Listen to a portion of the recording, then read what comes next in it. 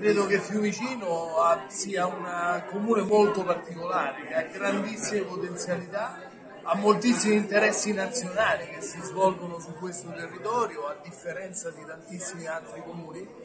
e quindi solo pensare all'aeroporto credo che ci faccia pensare ad uno degli snodi più importanti dello sviluppo, del turismo, delle opportunità di lavoro, di occupazione di importanti investimenti che sicuramente si faranno nel futuro in questa realtà territoriale. Il problema è avere un'amministrazione comunale che sia in grado anche di intercettare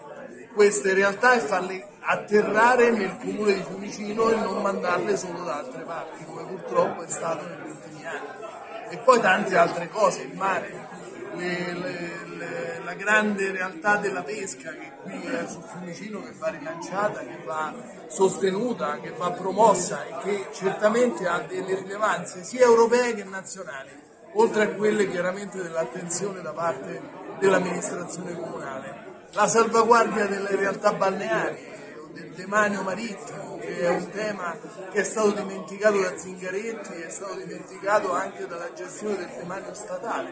che ha bisogno quindi di avere un'amministrazione comunale che sia in grado anche di andare a battere i pugni sui tavoli sovracomunali per poter difendere una realtà economica così importante che esiste su questo territorio. Quindi a Fiumicino c'è certamente l'interesse e il lavoro che deve fare un'amministrazione comunale, ma ci sono bisogni e interessi nazionali e sovracomunali che devono essere difesi e sostenuti.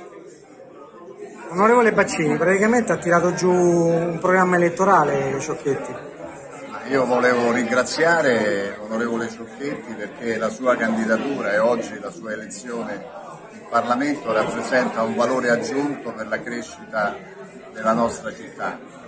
Luciano ha parlato di sviluppo e su questa parola dobbiamo costruire un grande pilastro, il pilastro delle nuove generazioni